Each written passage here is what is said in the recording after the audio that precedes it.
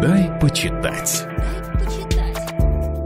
Здравствуйте, Ксения Станиславовна Лисарева, профессор Вятского государственного университета. Юта Рихтер, обладательница многих литературных премий, главная из которых немецкая литературная премия за детскую и юношескую литературу. Автор полюбившихся книг «Щучье лето» и «Я всего лишь собака» порадовала читателей исключительно немецкой, немного жутковатой историей «Фрау Волле» и «Аромат шоколада». Издательство «Росмен» уже на обложке заявляет, что это мировой бестселлер для детей. Главные герои книги «Сестра», Мерле 11 лет и брат Морец 8 лет. Их мама работает в больнице и очень устает. Папы нет, но они его любят и скучают по нему, ведь он когда-то сочинил для них множество прекрасных историй, но самое загадочное про сказочную страну Бедокурию. Дети каждую ночь слушают под одеялом радиоприемник. Там идут музыкальные передачи, которые ведет их отец неизвестно из какой точки земного шара. Но однажды мама объявляет, что должна теперь дежурить в больнице по ночам и не может без присмотра оставить Мерле и Морец. Понятно, какому ребенку, считающему себя взрослым, это понравится.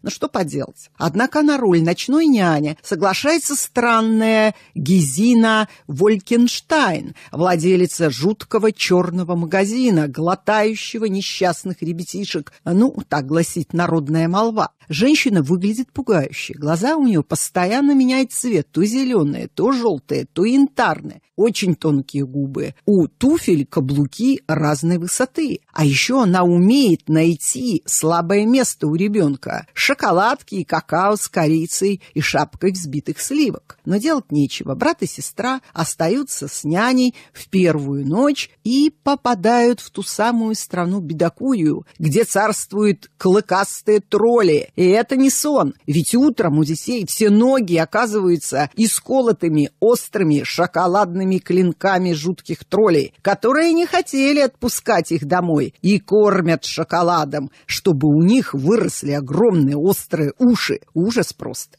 А есть еще длинная потайная лестница. Там ниши, а в этих нишах набитые чучела детей, у которых лица перемазаны шоколадом. Да, сказочка получилась еще та. Вопросов много. Ответы ищите в книге Юты Рихтер «Фрау Волле и аромат шоколада. 0+. Дай почитать.